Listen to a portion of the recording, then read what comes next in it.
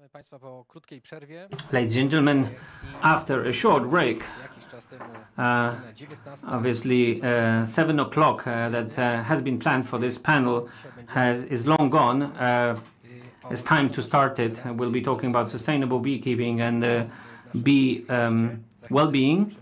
Uh, we have our panelists, and we will be connecting online with uh, our panelists, at, remote panelists, uh, so to speak. Uh, so before, uh, so as not to dwell on this introduction too long, let's begin with the problem, with the issue, because this is like aftermath of the first uh, presentation we had today. So we'd like to follow it up because this is an important topic from the beekeeping point of view, and so the the well-being of bees, uh, which can be defined as a, state of physical health in the condition of full harmony of living organisms in the natural environment, uh, and this pro- ensures the, ma- the main needs of the insects uh, with food, water, access, space, and shelter from the elements. So, well-being of bees. Polegać zrównoważone pszczelarstwo XXI wieku. So, what should be uh, the sustainable beekeeping like in the 21st century? Let's begin with Etienne Bruneau, because it's after his presentation that we uh, started this topic. Yeah, it's uh, the, the question is very. Uh, it's so many persons. I will be short. I think the, the most important is to to think at the habitat of the bees and to perhaps to be more close to the normal habitat of the bees. So the hive will be modified probably in uh, some the, the isolation of the hive is more important than in the past. You have a little we have to take in consideration the frame. This is one thing, and uh, the ventilation of the hive. We have to to to work more on these topics. This is all the habitat. There we have to rethink and to think what's we do. We do a lot of good things, but some things are not so so good. It's a first uh, first topics. The second topics is the density of the, the colony. When you see the nature, the, the, the colony are not just closed uh, from each uh, one to other, uh, another. They have uh, some distance, 100 meter, 300 meters. How can we combine beekeeping? Because for the beekeeper, it's impossible to run to, to visit this bee- beehive. How can we find a good solution for the bees to avoid the the the the, the, the, the change of the hive and what the, last uh, presentation showed the, the danger of this uh, proximity of the hives. So we have to think uh, to these things to to uh, and another a third very important element it's the alimentation and there, there it's all the, the food of the bees we sure that they normally they have to consume pollen and and uh, and, honey. When we give uh, proteins and this kind of things it's not the same.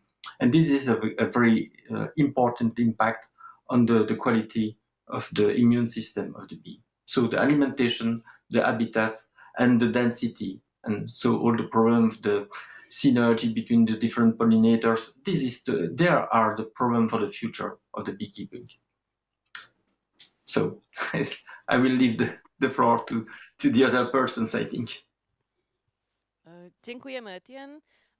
Teraz poprosimy o wypowiedzenie się pan, pana profesora. Thank you, Etienne. Now we would like to ask Professor Jerzy Wilde to take the floor. O, dziękuję uprzejmie. Mam nadzieję, że mnie słychać, bo miałem jakieś małe kłopoty. Okay. wsparciem.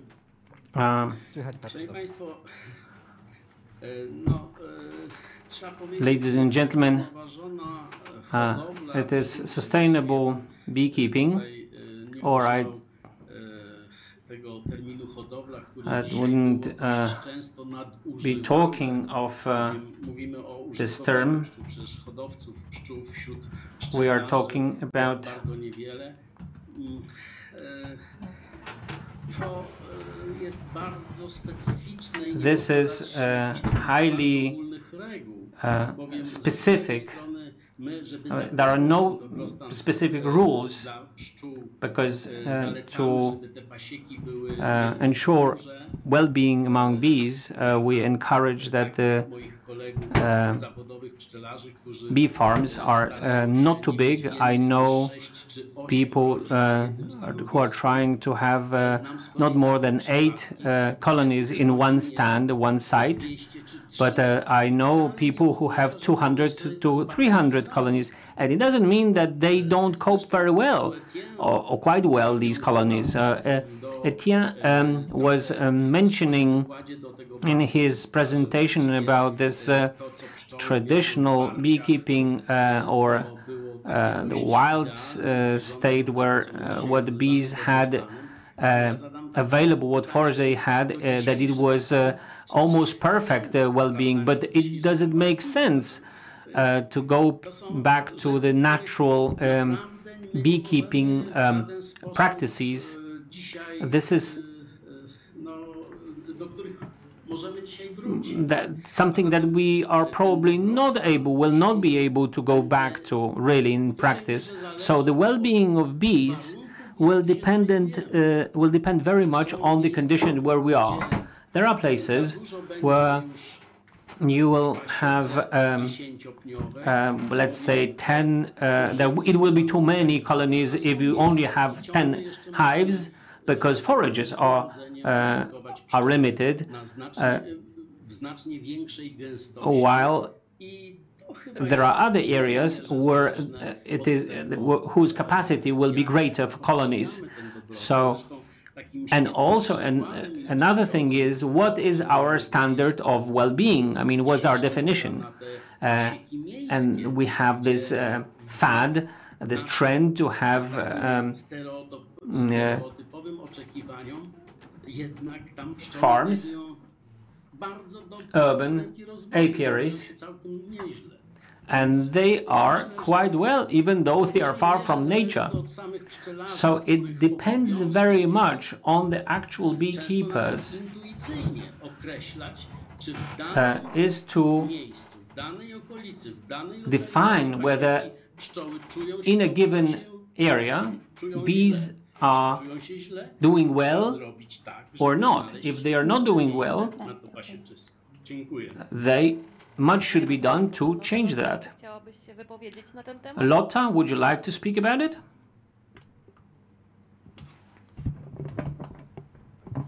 Lotta mówi, że... mm, lotta says that not necessarily uh, she'd like to uh, add, add, add anything at this point uh, no, I was interrupted from outside. I'm sorry for that. so please go ahead. Okay. w takim razie jeszcze raz, czy chciałabyś coś dodać would you like to add something at this point lotta w tym temacie? Nie. Dobrze, no zatem poprosimy e, okay uh, let's move on to tomasz łysoń na ten temat. to speak Ja myślę, że dobrostan pszczół no to jest szerokie I think well-being um, of bees is a, a broad term. We are trying to um, provide it. y, mieli taką, takie warunki, so that we have uh, the right conditions for bees to grow, to develop on various areas. And we're talking about the health so that the bees um, have mm, z medication for varroosis, uh, combating mowa. But the main thing is the forage, the foraging base. Uh, that is absolutely key. What uh, my colleague said before, uh, there are apiaries with up to 200 uh, colonies, and the bees are fine, and also urban apiaries, and they're also fine. But there are also monocultures uh, with a lot of um, bee, uh, what of honey output, but there is no diversity for the bees, and so the well-being. Um, is something very much about education. I keep talking about it, so let's promote uh, uh, the um, the various um, plants that are required. Um, Miasto Wrocław, które, które Let me give you an example of uh, Wrocław, the city. Uh, często z udziałem um, we've mapped it, or the, it has mapped it, uh, and there are.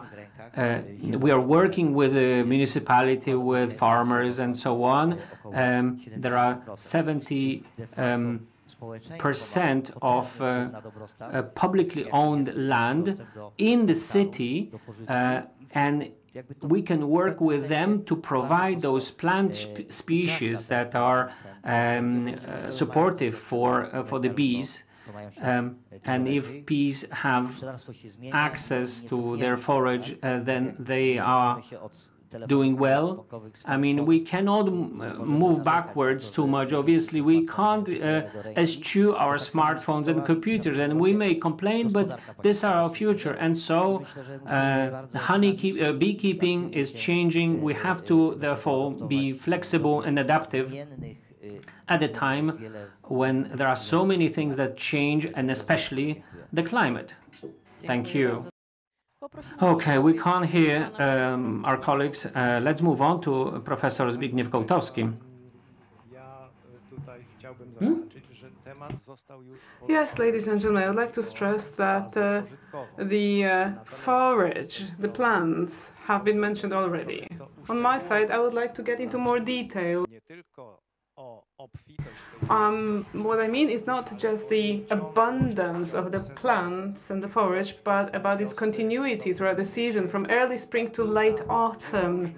This uh, big biodiversity of forage plants guarantees the continued delivery of food for our bees, and I think this is the key significant, the, the, the key factor for honeybees, but also feral bees. So, if we are talking about the well-being, it is worth looking at the level of bees, at the, at the number of colonies per square kilometer, where we have much more bee colonies, we have to have a much more dense and abundant forage plant uh, number.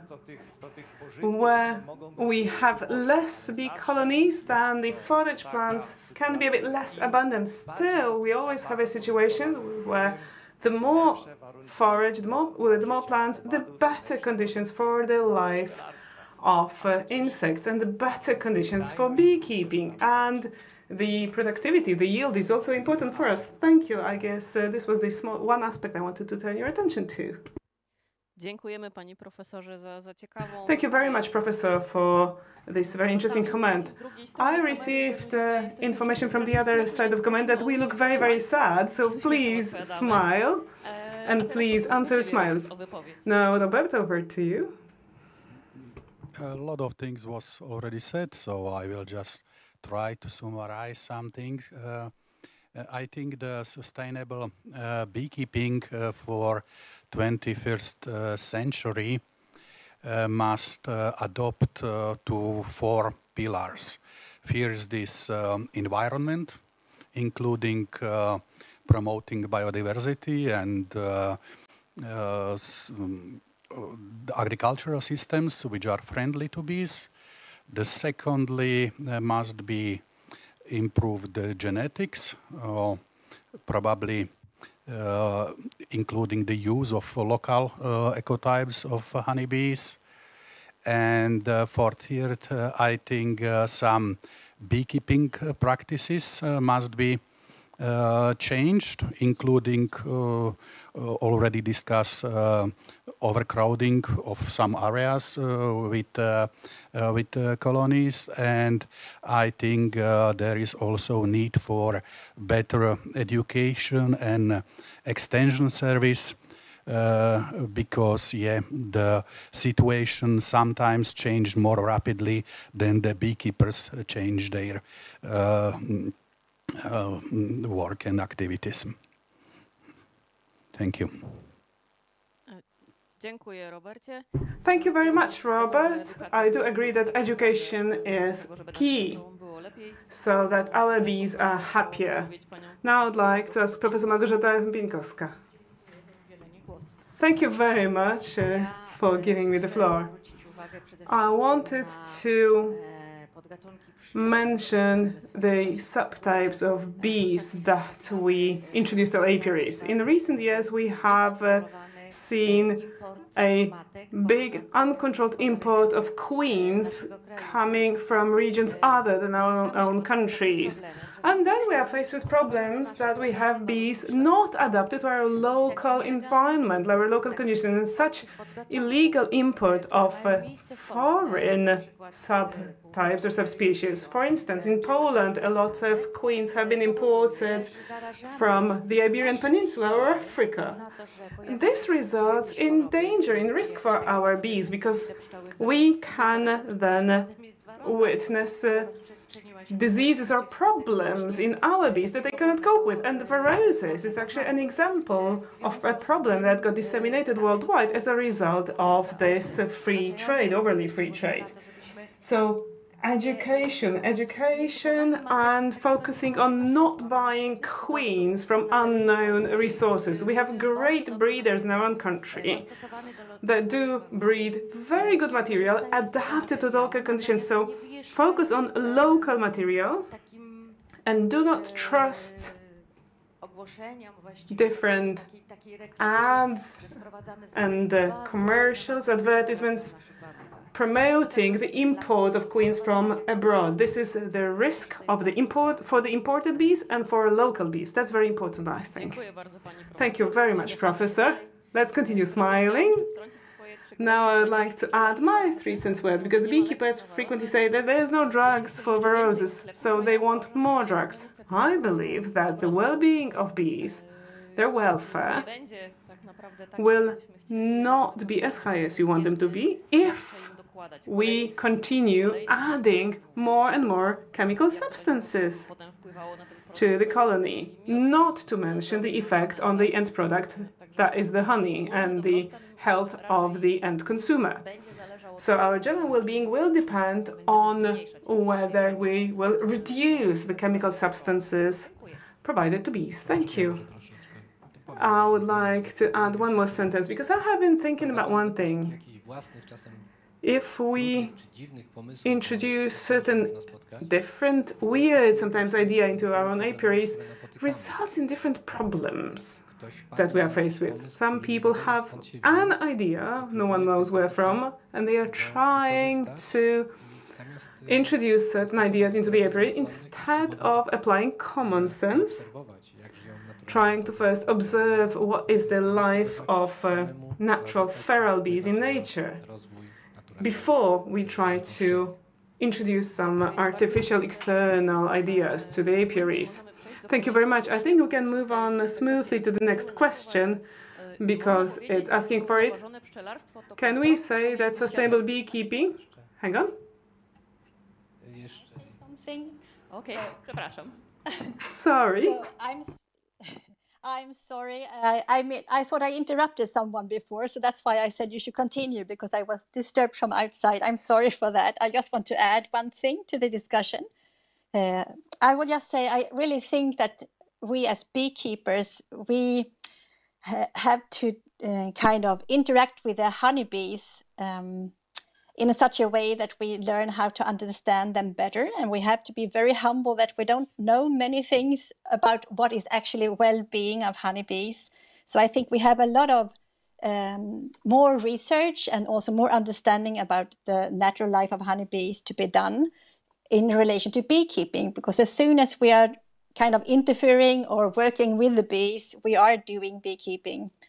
So I just want to add that it will probably be much higher demand of knowledge and uh, an increased capacity of the beekeeping uh, skills uh, in the future.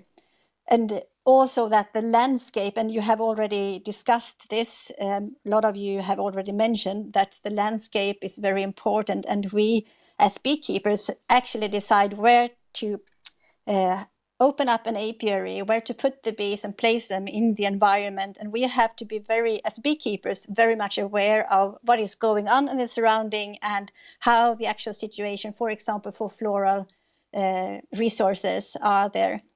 And as you also mentioned, the what when we are buying or when we are producing more bee colonies, we really need to be uh, very thoughtful about what kind of bees are we dealing with. Are they the most suitable one for this area? So I totally agree about the fact that we should be very careful with the diversity in the genome that we have with the bees, so that we breed for resistance and resilience in honeybees themselves, but of course also promote that we have a resilient landscape surrounding them. Thank you. Dziękujemy Lotta za to piękne Thank you very much for this beautiful summary. Let's move on to the last question because we are running very, very short of time and everyone must be very tired. Can we say that sustainable beekeeping is a compromise between the world of insects and fulfilling human needs? Etienne, would you like to say a few words about that? Uh, I didn't understand clearly your question. It's the. Can you repeat it, please? Tak, oczywiście. Of course. So can we say that sustainable beekeeping is a compromise between the world of insects and fulfilling the needs of humans? Yeah, yes, I understand the question, but it's so difficult to. Uh, yes, I think it's. I will not answer directly to your question, but um, what Lotta tell it's it's completely true we have to change the well, we have to which we have to change and it's compromise to it's a problem that we are fixed we, we think that we know the bees. We don't know really the bees. The bees are more complex than what, what we are thinking.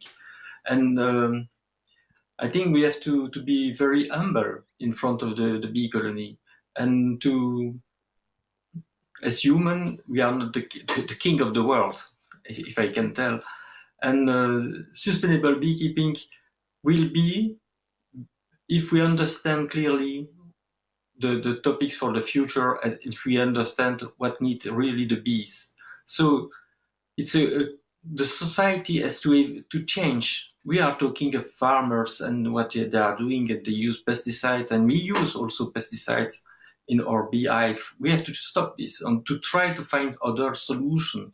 We have to to improve the, the environment, the, the landscape for the bee for all the pollinators. So we have to change our society somewhere and to, to think, yes, we can produce and we can continue to have some economic return if we respect the nature and if we copy and we pick up some elements in the nature who, who can help us to survive. It's our survival with in in uh, in consideration in this uh, in this uh, subject, I think.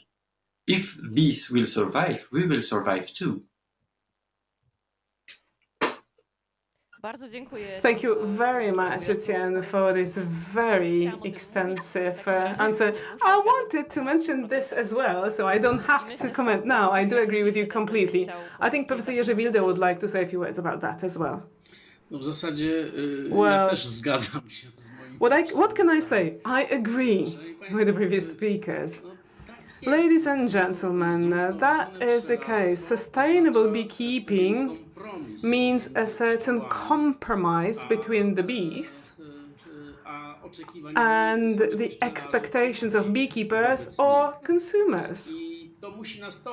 And this has to happen we have to understand that uh, too drastic approach to the yield and profitability of beekeeping is incorrect because uh, if we are too extreme in uh, approach to profitability, we cannot have sustainable beekeep beekeeping, and the other way around.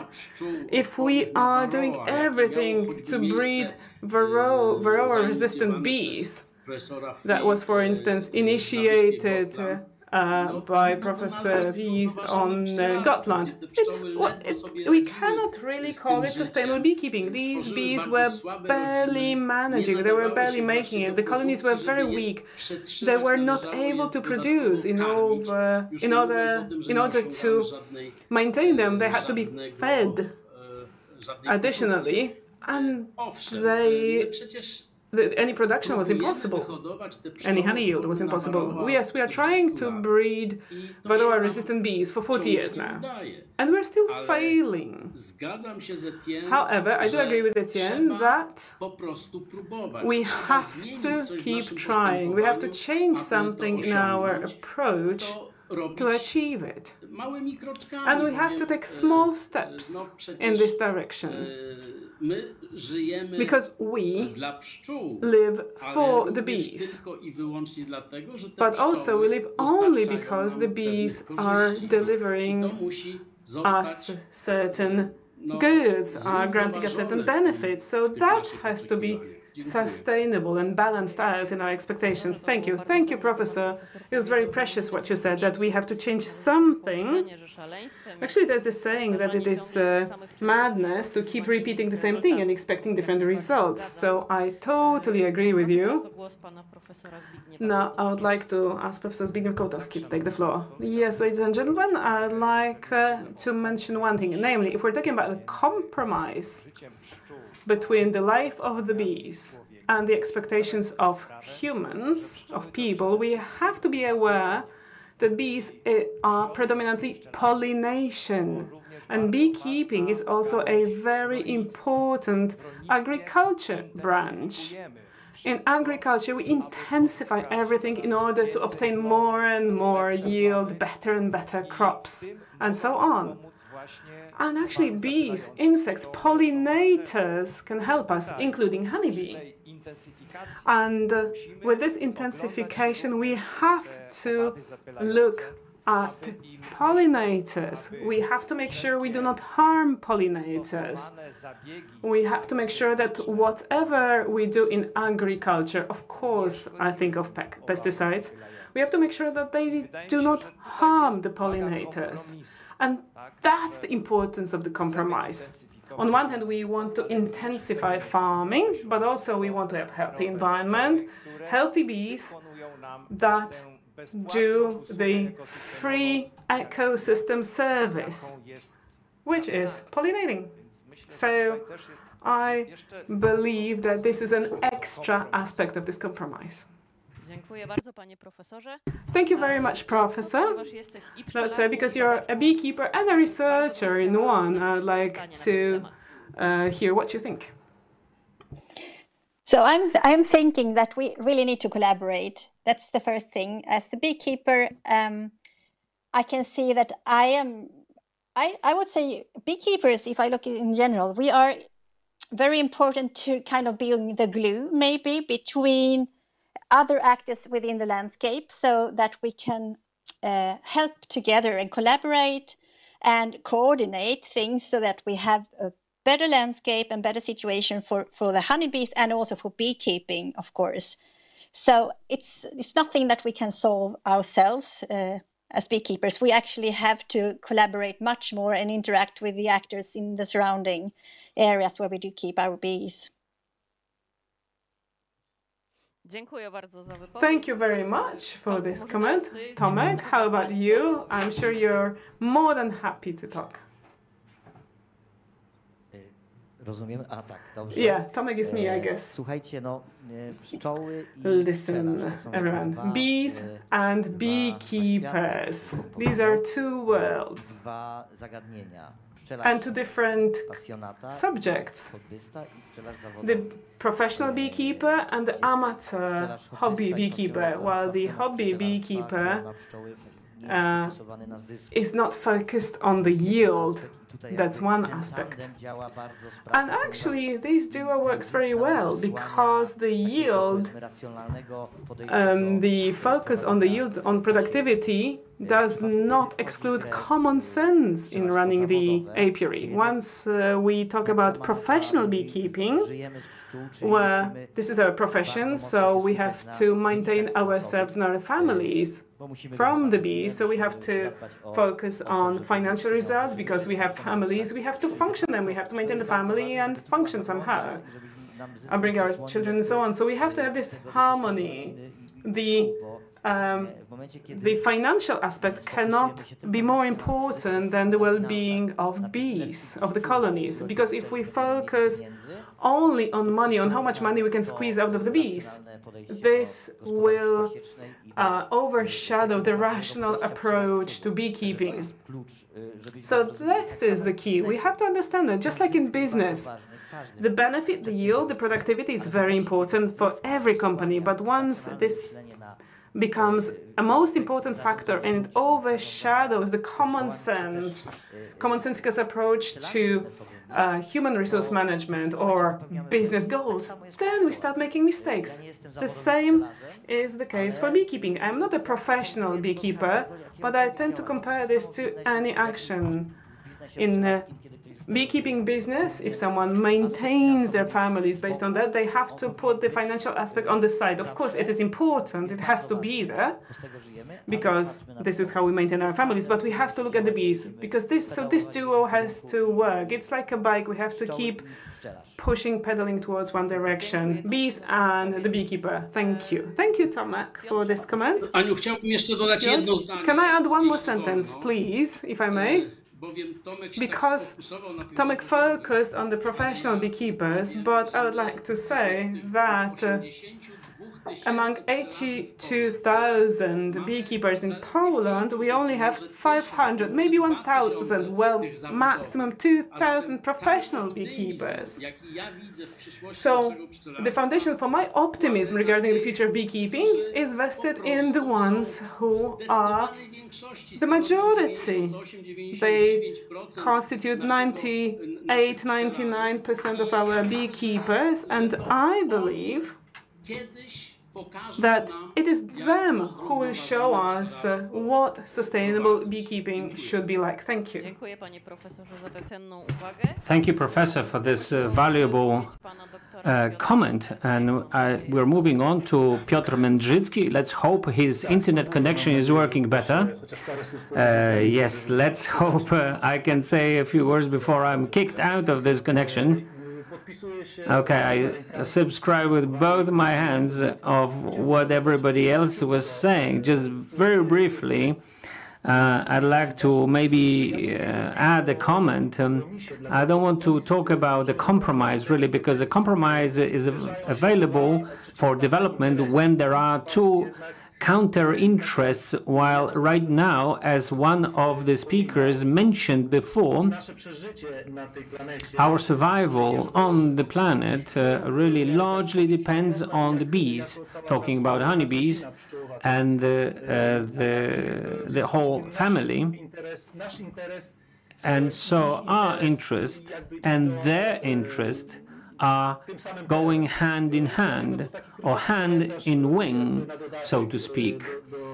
Um, so perhaps let's just think not in terms of compromise. Well, when I'm talking us, we, I'm talking about humankind, I'm talking about uh, our species, uh, species, rather, uh, rather than, let's say, just the beekeepers. Dziękuję Piotrze za wypowiedź. Thank you, Piotr. Ponieważ pani profesor Bieńkowska jest Professor Bieńkowska is uh, both the beekeeper and the researcher. I'm sure that he, she has something to do to add. Really, I have nothing to add because uh, the previous speakers said everything that could have been said. Um, so I again subscribe um, under all those statements because my opinion is, is exactly the same. Robert? Okay, thank you. Just, uh, just uh, shortly, uh, coexistence between the uh, between the uh, bees and uh, humans is always about searching the equilibrium. many of you surely read the Tom Seeley's postulates about Darwinian beekeeping. Um, just the two, two examples that the wild colonies are uh, living in smaller hives and uh, swarm more frequently, but they have much less problems with uh, pests and diseases. Yeah? Uh, so also also human and modern beekeeping um, uh, probably needs to uh, learn more from these wild colonies but surely there is a uh, there, there is a place also for commercial bee uh, beekeeping because uh, I I have read that the, the the, crops which are dependent on the insect pollination, the, the need for pollination has risen uh, by 300 uh, percent by the last uh, five decades. So, yeah, if the if the human uh, yeah would like to survive, surely there is a place for for all pollinators, not only the managed pollinator, but, but also the wild pollinators. But it needs yeah, a lot of a lot of uh, efforts to uh, to save uh, the, the, these uh, populations. Thank you. Dziękuję za tą Dziękuję za tą bardzo cenną wypowiedź. Thank you for this valuable um, comment. Uh, let me add, uh, chip in with something on my side. Mm, zależy od pszczół i our od tego, czy one faktycznie będą lot, świadczyć te usługi our plight depends on the, the bees. Nasz dobrostan zależy So our well-being depends very much on the well-being niestety my jako of pszczelarze, my jako the bees. So we, as uh, Y, ja wiem, że czasami beekeepers have to um, maybe take some uh, stringent measures. Uh, we need to obviously work hard because it's the hygiene, monitoring, and so on. But and there's a lot of work. But if we don't do this, um, trochę nas to ugryzie z this is going to come back and bite us. pszczołom będzie źle. No, Because if bees uh, don't feel well, we are going to feel bad uh, both mówi. as well. Zastanawiam, czy Um, m- gdzieś I'm also thinking whether we haven't really gone too far in um, improving nature uh, at all cost in agriculture and elsewhere. Uh, perhaps this is the time today, now, uh, for um, some sort of um, uh, a look at, at our methods, whether it's a compromise or not, because some methods are not really working and are creating problems. Thank you.